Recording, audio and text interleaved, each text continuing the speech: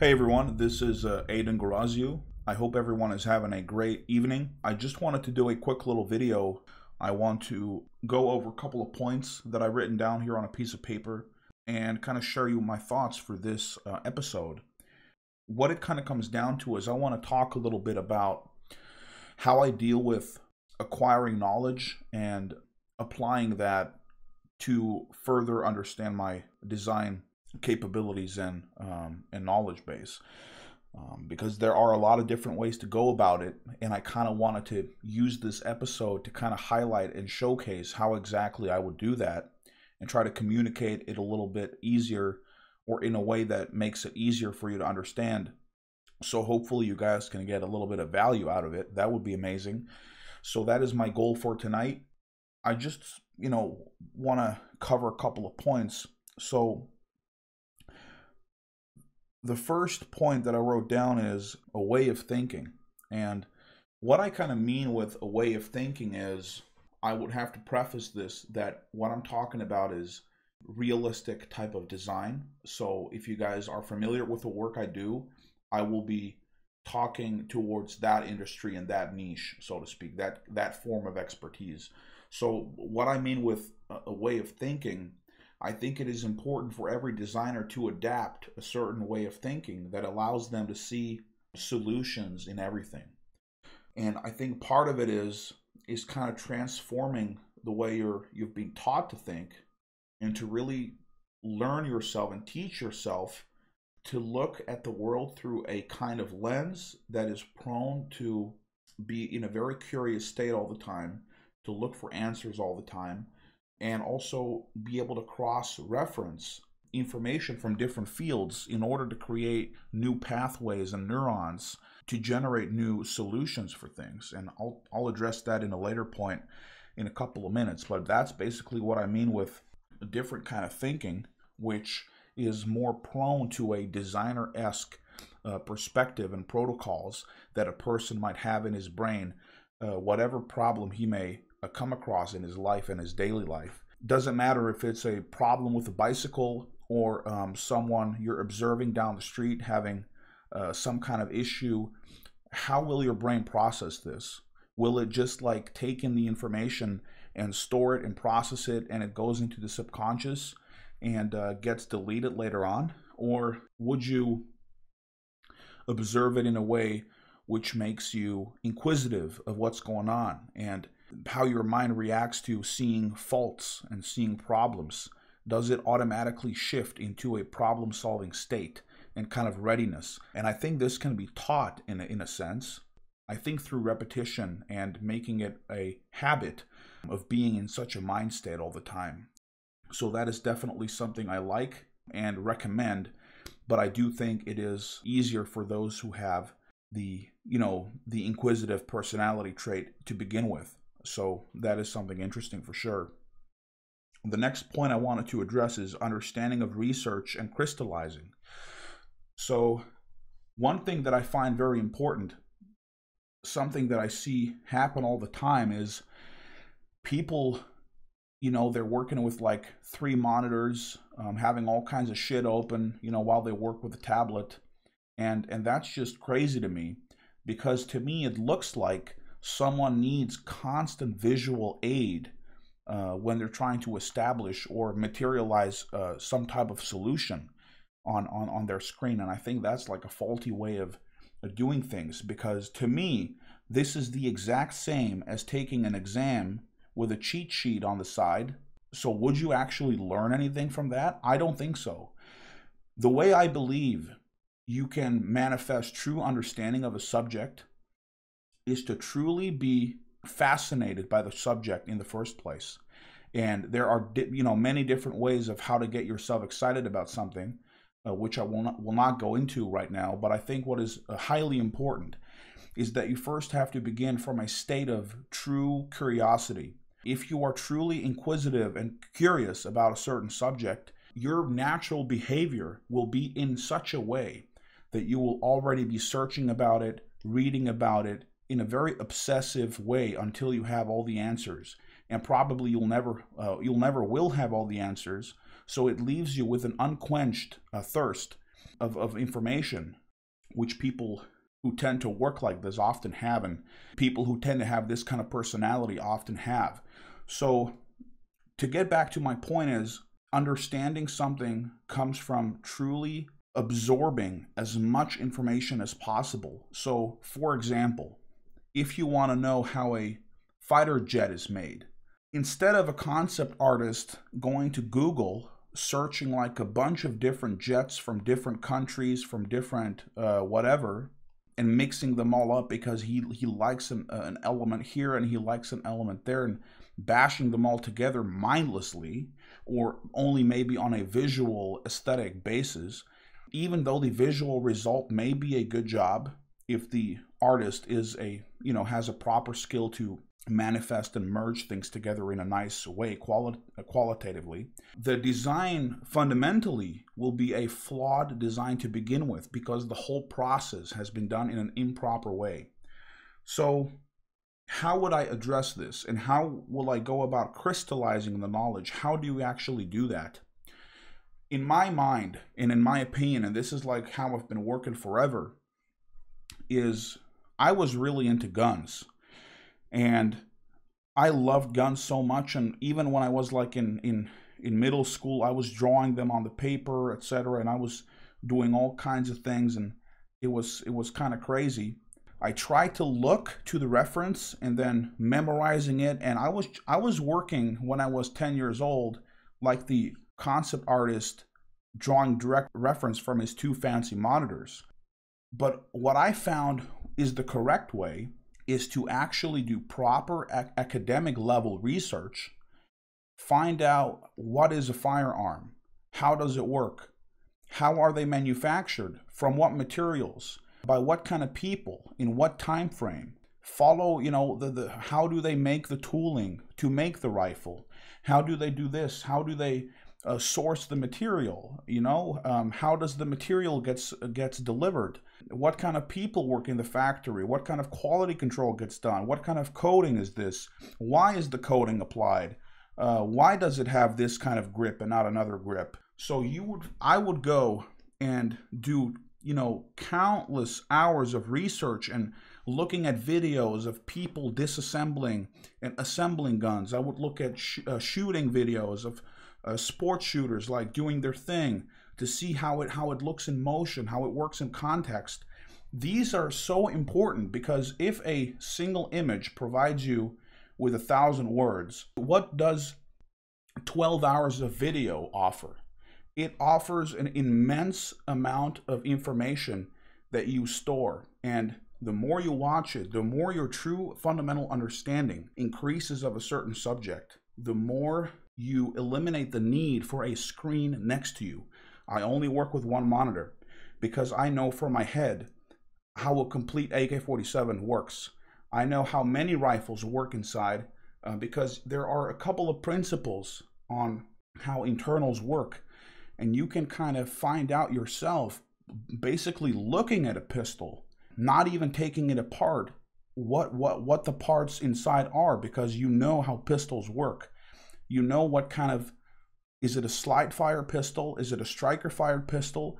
Is it a hammer uh, single action, double action? Is it a revolver? Is it a muzzle loader? So it's not that complicated to really get down the knowledge into your system so you really have a true understanding of what is what. And the way you crystallize it is actually applying all the research you've done here and accessing it from your mental archive to create a solution for yourself and constantly checking back and forth hey, have I implemented this correctly? But not with a screen on the side. This is not needed.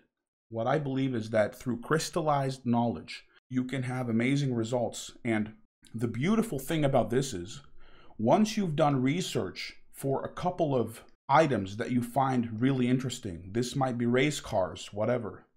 These might be like fighter jets. These might be like transport things, medical equipment, and like military tech. You can like draw information from all of these sources that you've coherently studied, like I mentioned here. And when you have to make a new solution, you can draw from all of these pools of knowledge that each have their own backstory, their own expertise, their own uh, science, their own uh, manufacturing processes and coatings and materials and, and philosophies. So once you increase the web of information that you've crystallized in your brain, it'll be amazing. So you'll have the tools at your disposal in a way that is so deeply embedded in your brain that you, you you'll never need reference again you know? So the beautiful thing about red dots for example is you have many red dots on the market but they all work on the same principle. I mean if we're talking about reflex sights it's basically an emitter that you know emits light to the glass and it reflects back to the to the human's eye and you can see like a reticle in the scope. That's all it is so once you learn this information about red dot sights and how they work, you can even order one from eBay so you can take a look at it yourself, really truly understand how big are they actually. Order an airsoft rifle or whatever so you know like, hey, how, how thin are they? Weapons are pretty thin to be honest. How heavy are they normally? How high are the sights above the barrel? Does it have effect on the on the optic height? Does it have effect on recoil? Where's the center of mass? Um, all of these things you can observe in person by simply spending a little bit of R&D money, ordering a red dot sight, for example, under truly understanding what it is that you're holding in your hands, how it's built, how they put all the markings on there, what the stickers say, and everything will be relevant to the product. So once you do that, once you adopt this kind of mindset of acquiring information in a very thorough and fundamental way, if you can kind of adhere to this protocol for everything else in your life or in, in, in your design field or in your VFX field or any field you're in, if you apply the same kind of protocol, I believe you can become much more successful in expanding your mental uh, visual library, create many new pathways for potential problem solving connections that can be made in the brain to have much better results in your work and eliminate the need for reference screens all the time. So that is kind of what is on my mind, and that is how I would think I would describe my process. So, just to give you another example, if I clean up this place here, how do we mix from two industries, for example? Well, I'll give you an example. So, I have a mentorship, a, a personal design class that I give to uh, one person. I mean, each class is for one person only, it's a one on one and basically I, I was talking to a student of mine and um, and then we were talking about this mixing up of ideas and just to showcase him and give him an, an, an, example of what something like you know how something like that would look like i just mentioned um, let's take technology from two fields. So we have nature and then we have like man-made. How are we going to combine things? So i came up with a kind of cool idea and i was like do you know geckos? You know, the little creatures who can walk on any surface, right? With the special patterns on their fingers. How, why don't we mix that with like a grenade and make like a very cool gecko grenade, uh, Semtex tech. So you can throw it on a wall and it'll stick because of the a special pattern. So such an easy mix up already makes for like a super sick design brief. So how would you approach this design brief? Well, First of all, you are going to learn everything about grenades. I want you to know how it's made, why it's made, by who it's made, for who it's made, how much it costs to make, what kind of versions there are, how when it, when it was invented. I want you to know everything about grenades that you can possibly find to really deeply root the knowledge about grenades in your system because that means you have all kinds of different grenades. You have flashbangs, you have concussion grenades, frag grenades, etc., etc. And then you have a couple of uh, variants in, in geckos, in, you know, in its species, and you got to do research on what kind of pattern do they have, like how does it actually work. You go to YouTube, you go research. Um, did they do any slow mo footage of how they actually attach to surfaces, and how do they deal with oily surfaces, and how do they deal with asphalt or wood? What makes it that their pattern, grip pattern, can attach to anything?